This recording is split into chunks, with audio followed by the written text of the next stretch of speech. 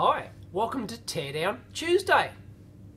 Where's the thing I'm going to tear down? Well, sitting on top of my video camera and I'm using it right now to record the audio for this video. It's the Zoom H1 handy recorder and here it is. Well, I might be peeking a little bit. Check, check, check. Definitely going to peek there. It's a little uh, handy uh, WAV MP3 stereo recorder and it's got an external mic out and you can use it to uh, record stuff for your video. Let's check it out.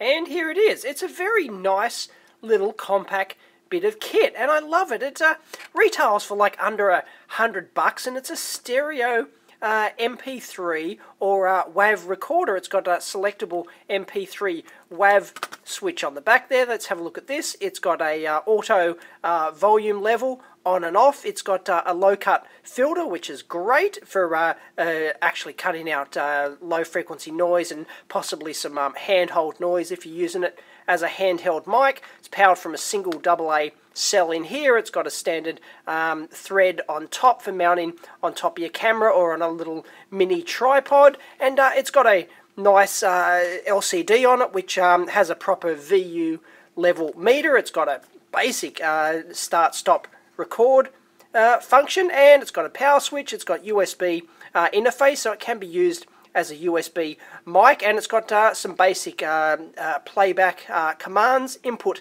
level so you can have auto or manual uh, level set and it actually has an external microphone input as well. So if you want to use a better quality handheld mic or something like you can stick this thing in your pocket and you can use like a external handheld uh, mic then well you can certainly do that. Use it as a portable recorder or a line in as well. So you can use it to record stuff from like a tape deck or uh, something like that. It's got a uh, clip um, level indicator here. So if your uh, input clips then it'll show you that. And it's got um, these stereo microphones down in here. And uh, they're in this crisscross uh, fashion because that makes them equidistant wank word of the day, equidistant from the source, regardless of where the audio source is, if it's right out here, or if it's out here, or if it's in front, like this, these are the same distance, so there's no phase difference between um, if you had a traditional uh, stereo microphone, they would have two separate uh, mics like might be out here, and if your source is over here, there's different uh, lengths to get to each microphone. So by putting them in this cross configuration, like this, they uh, just work, and apparently it reduces the uh, any uh, phase, any um, issues due to uh, phase, and it's supposed to increase the stereo imaging and all that sort of audio wank word stuff. But there you go, it's a very nice little handy recorder. Oh, and it's got uh, volume and a speaker on the bottom as well, and it's got a micro SD card in there to record your uh, stuff directly on. It's a very nice little recorder. I love it. So let's open up this thing and uh, see what's inside. Now I expect a uh, microprocessor. I don't know what uh, type. It'll probably have an M because it's got MP3 uh, encoding uh, capability. Maybe there's a separate uh, MP3 encoder chip or something like that, or maybe it's built into the main micro, and there'll be an analog to digital uh, converter as well. That'll be a 24-bit type because this thing's capable. Um, it's got a 24-bit analog to digital converter up to 96 kilohertz uh, sample rate. So you know it's pretty high-end stuff. I expect there to be some uh, shielding uh, in there because we're talking about you know a 24-bit uh, converter. So um, there won't be a terribly uh, a terrible amount more than that ADC and a micro and maybe an MP3 encoder and some miscellaneous uh, circuitry, some uh, level um, stuff, so there'll be some analog input circuitry, but that's probably about it. The micro probably uh, controls the uh, SD, writes directly to the SD card, and, well, I don't know. We'll find out. Let's open it. Looks like we've got two screws there, and let's see if there's a, another screw inside the battery compartment doesn't look like it, so uh, take out these two screws for starters and maybe it just uh, lifts off like that. Using my spudger here to, there we go, it's got a clip in there and a clip in there and it's probably got another one up the back here, but it looks like it separates like that. So, yep, bingo, looks like there's another clip up the back. And, ta-da, there it is.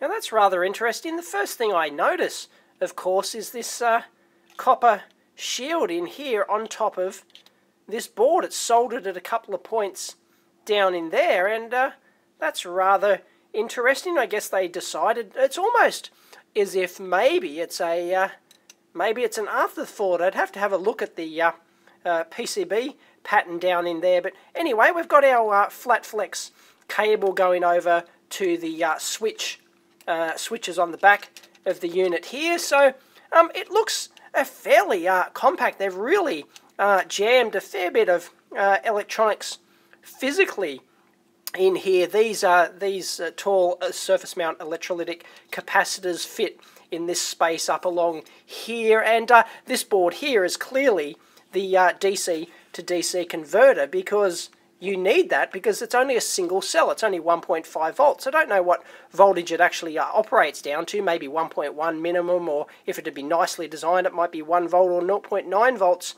minimum. But um, uh, you obviously need a uh, boost step-up DC to DC converter for that, and uh, I looked at that chip under the uh, microscope, and there doesn't, uh, it's not readily identifiable. It uses some uh, weird code mark, but there you go. It's a basic boost converter. You can see the gold test points there, there, there, and there. There for the production test jig. They would have a bed of nails tester that they would test each individual board on. Now this is rather curious. They've got the USB uh, mini B connector there connected, uh, soldered onto the DC to DC converter board up the top here. And uh, really that's very that's quite strange because you'd have to get the uh, data connections off this board. So presumably it's got a either there's a ribbon cable under the bottom that connects down to the bottom board presumably where the processor is or it's got to go through the DC to DC converter and uh, somewhere else. Oh there could be a processor over here perhaps. I haven't lifted that flap up there but it's got to get those data connections all the way through that DC to DC converter that's just a rather unusual placement for the USB connector and check out the uh, footprints there for those little uh, surface mount resistors or capacitors there. They've got no solder mask removed, so they've decided that they don't uh, want, want to mount those components and they've actually uh, haven't they've actually uh, closed off the solder mask for those so there's no solder on those pads at all. Um, that's not uh, fairly common. Usually on unpopulated footprints like that, you would just leave the solder mask open and you'd see the uh, reflow solder on those pads, but not in this case. Now let's take a look at this side of the top board, the or the blue board as we'll uh, call it here, and uh, there's this plastic. Is that looks like uh, plastic protecting? Uh, there's another copper shield under all of that. And that's not uh, very surprising because these are your uh, input and output connectors here. So this is all your uh, audio stuff, your analog to digital uh, converter and your uh, DAC and stuff will be all under there. And possibly, well, the um, actual processor is probably down on the bottom green board down in here. And I'd say this is uh, all of your ADC and amplifier stuff because it's got to drive the speaker, which is all the way over here, by the way. And so let's take a look. Let's lift up that, lift up the skirt and see if we can find anything under there. We may actually have to desolder the shield. Geez, I hope not. And of course you can see the microphone connections there and there as well. So this is really, uh, that's why it needs all the shielding. And uh, I can't seem to get that plastic off. It seems to be stuck down, well and truly ad adhesive stuck to the uh, copper board there. So looks like we are going to have to desolder that. Bummer.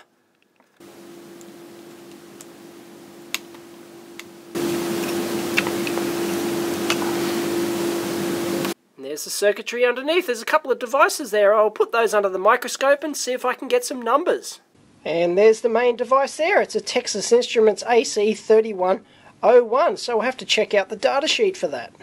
Well, no major surprises at all. It's an off-the-shelf stereo audio codec from Texas Instruments. It's it's a TLV 320 AIC 3101. They don't put uh, the extra uh, info on there. They just stamp the chip at 3101, but you search for it and it uh, pops up no problems at all. It's got a DAC and an ADC, the uh, stereo audio uh, DAC here has got a 102 dB signal to noise ratio, um, uh, sample rates up to 96 kilohertz. It's got some uh, wanky effects as well, bass treble, 3D stuff, and de-emphasis and things like that. They're probably not used in this particular uh, product.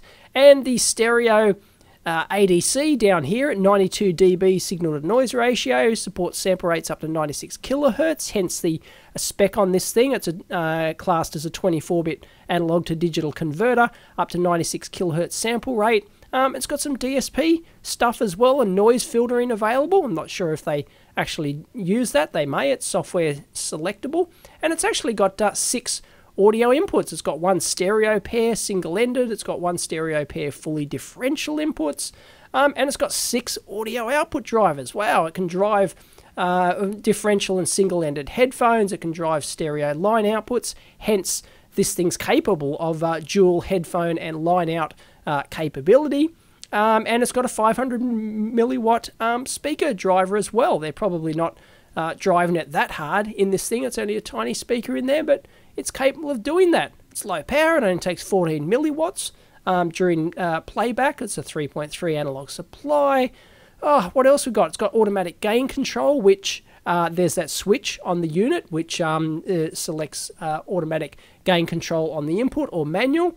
Um, it supports, um, it has microphone bias as well built in. You would need that for these uh, electret uh, microphone inserts and uh, it's got an I squared C control bus for setting the data and uses the uh, no surprise as most of these audio class uh, codecs do they use the um, I squared S uh, not to be confused with I squared C. I squared S uh, audio interface um, industry standard type thing and it's in a 5 millimeter by 5 millimeter 32 pin QFN let's take a look at the block diagram and it contains a lot of uh, analog and digital stuff that would ord- ordinarily require a an awful lot of uh, separate, uh, discrete circuitry. So um, the inputs here, it's got uh, a programmable gain amp from zero to uh, almost 60 dB in half dB steps. Wow, going into the ADC. It's got the auto gain control there. It's got uh, line inputs. It's got the microphone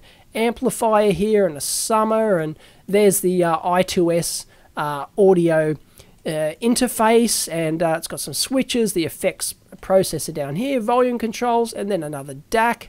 Oh, geez. And then the output, all the output uh, mux in for the um, uh, headphone uh, outputs and the line outputs as well. And the, of course, all the uh, I squared C control in, uh, data interface and uh, the clock generation as well, and then the microphone biases and the different voltage supplies it needs. It's a really heavily integrated device. And if you take a look at the typical circuit configuration here, you can see that uh, it, the I2S interface connects to a DSP or an application processor. We could have, yeah, a DSP or a microcontroller, but because this has to do MP3 encoding, unless there's a separate MP3 encoder uh, chip on the other board, which we haven't uh, seen yet, which is uh, quite likely, then it would need a fairly heavy uh, DSP because it's not easy to do MP3 encoding on a low end microcontroller, but uh, pretty basic stuff. It's got the uh, microphone, um, electret microphone input here with the microphone bias supply, AC coupled, pretty standard stuff. Um, uh, line inputs here, also AC coupled. another line input here, and well, it's got a whole bunch of line inputs and then the uh, um, headphone uh, driver down here, an external audio uh, power amp. So it's recommending um, if you know a separate external amp if you want to uh, drive uh, a decent uh, type of speaker load instead of headphones, and lots of decoupling over here for the built-in uh, supplies. So uh, there's a whole bunch of uh, stuff. Analog VDD is rated from 2.7 to 3.6. and also needs uh, for the I/O as well. Go can go down to 1.1 volts uh, to 3.3. So that's rather neat. And that's all there is to it. And you'll basically uh, find that all this stuff will be mirrored on the PCB. It's just got a whole bunch of coupling caps and decoupling caps and a couple of pull-up resistors and that's about all, and that's what we see on the board. Now, this is rather interesting. I highly recommend you uh, read the datasheet if you want to know how the uh, AGC setting works. I haven't uh, read the manual for this thing. Maybe it explains fairly well, but this is, you know, coming from the horse's mouth directly from the uh, chip manufacturer's datasheet because AGCs, automatic gain controls, can be rather tricky. And if you use them, um, you know, you've got to know exactly how they work under what conditions. Otherwise, you could end up with uh, things that are clipped or too low and audio that's all over the shop. So you want to know about the decay time, and that's actually uh, selectable. So who knows what uh, decay time that they're actually uh, using that, um, what they've uh, set that in software, um, hard coded that into the uh, firmware of this thing. So if you go down here, it can show you your input signals, your output signals, and how it adjusts that in uh, real time. So if I'm recording like a lecture or something like that, I'll set the level up, up manually, I'll place the thing, set it up so that I know that uh, it's going to give me a consistent uh, audio level and I don't have to rely on uh, any uh, tricky business happening in the um, AGC. And uh, there's a digital audio processing for playback, and there's all sorts of stuff in this data sheet. So I highly recommend you uh, uh, check it out if you're interested in how this sort of stuff works and the digital interpolation filter and ah the Delta Sigma audio DACs. It's all in here. It's great stuff. Excellent bedtime reading. And the other part is a JRC 2100A04. Not familiar? We'll have to check it out. Maybe it's uh, some sort of, uh, you know, uh, dual op amp or uh, dual microphone amplifier or something like that. And I was right on the money on the other uh, device. The JRC 2100 is actually an NJM or New Japan uh, Radio 2100 dual operational amplifier. no funny business going on there at all. It's just a uh, low operating voltage, plus minus 1 volt to plus minus 3.5 volt single supply operation, dual op amp. No more to say there. And if we have a look at the uh, dual board construction here, uh, I was able to lift out the microphone insert over here. And you can see the uh, board-to-board -board interconnect they've got down here. And uh, there we go, we can see the bottom board, we can see the uh, side switches directly, uh, right angle side tact switches directly soldered onto there. Some test pads, that would be for programming the microcontroller, that would be the JTAG interface. I haven't even looked at the uh, silk screen there, but that's obvious what that is. A couple of more uh, side tactile switches up here. There's the uh, uh flat flex uh, cable directly soldered onto the board. A whole bunch of resistors neatly uh, laid out in lines. I like that when you're laying out a board. It's rather neat. And let's go in and see if we can find out what sort of processor that thing is. And you can see the a bunch of electrolytic uh, caps for the uh, uh for the uh, coupling. Um, input and output uh, coupling here. These large ones would be for the output coupling for the headphones, and another, and some of those would be used for the input coupling as well. One rather interesting thing to note is you'll notice that the shield of the USB connector has this black wire running all the way up to uh, presumably one of the uh, grounds up here, one of the analog grounds right up there, which might be connected through to the shield on the top. I'm not sure, but uh, obviously that's like a maybe an afterthought, perhaps, um, or maybe that was the uh, easiest and best way they could get that all the way back to that on the double-sided board. Uh, who knows? But uh, they've obviously had to do that to uh, uh, get the noise down in some way, shape, or form. And you'll also notice the extra circuitry in here for the uh, DC to DC boost converter. Now if I take out these little uh, plastic clips either side here for the uh, uh plus minus buttons then the board seems to seems to lift out somehow perhaps very gingerly I don't know this could be tricky I might have to uh, get some pliers there and pull it out vertically perhaps. And there we go, I got it. Aha! There we go, now we've got some serious stuff happening. Awesome. And bingo, there was too much uh, happening to all be on that one tiny chip on the top. So obviously we've got some sort of processor here. We'll check it out. One of these is probably the MP3 encoder. We've got our SD card directly mounted on the board. Another device over here, our tab mounted uh, LCD custom LCD display over here, our carbonized PCB button which connects to the rubber uh, button for the front panel for the record switch and a few miscellaneous things and a real-time uh, clock for the time and date. That's the 32 uh, kilohertz crystal. And there's another uh, surface mount connector up here which they decided not to populate. And there we go, the main processor is a DSP. It's the classic uh, Texas Instruments TMS 320 series. And the first device we've got up there is an EN39SL800 and that's an 8 megbit flash memory. And the other device we have there is a Core Magic. I uh, haven't heard of them before, but it's a CMS 3216LAH. 75 and I believe that's actually an SRAM. So there you go, we have a uh, Texas Instruments TMS 320 DSP processor, we have external flash and we have external SRAM. Now interestingly, this is a TMS 320C5504 and it already has uh, 256K of built-in SRAM and 128K of ROM. That's not a huge amount of ROM, but it is a lot of SRAM, but maybe they need a lot more. So uh, given, given the proximity of these two devices, to uh, the TMS 320 up here, this does actually support external memory up to 4 meg. So it's most likely that they are actually external uh, flash and SRAM for the TMS 320 processor. Now, the thing that's missing, of course, is the MP3 encoder capability, and that's either built in to the TMS uh, 320, and I'm sure it's probably uh, capable of doing that, but there's this mysterious device over here which we couldn't identify, which is close to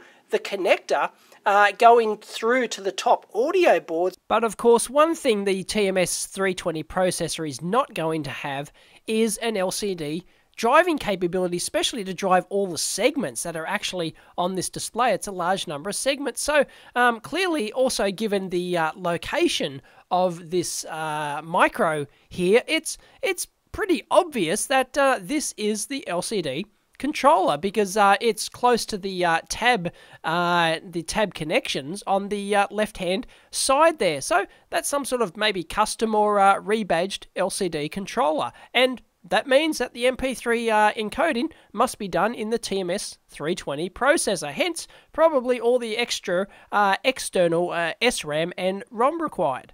And for those curious about the copper shield in here, that's uh, clearly all over this uh, digital circuitry here because we've got parallel uh, buses running between uh, the external memories and the uh, DSP and maybe you know around here we've got the SD card. So you know there's the uh, main crystal oscillator for it by the looks of it. So all of that sort of stuff is running you know it's going to be running at a reasonable frequency and it's all going to be uh, digital stuff. So they've obviously just uh, shielded on there. Now, whether or not that's an afterthought uh, to meet uh, EMC or noise compliance or uh, something else after they did testing, I'm not sure. And based on the looks of uh, the pads designed into the PCB to solder this uh, copper shield in down onto it, um, it's at least thought out as part of the PCB PCB design. So it's not just a, you know, it's not just a hack add-on or anything like that after the fact, but maybe it could have been. Maybe they did their original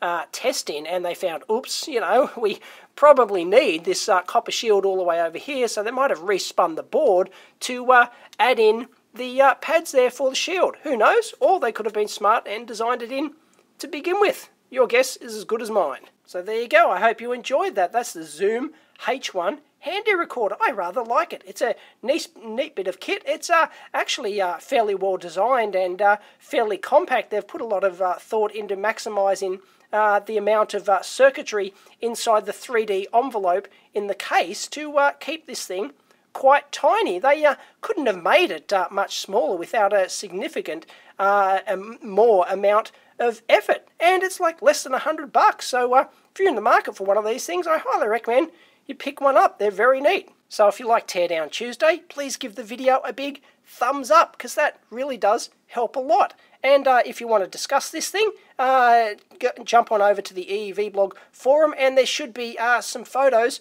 on my Flickr account as well for you to check out eventually. So, till next time, see ya.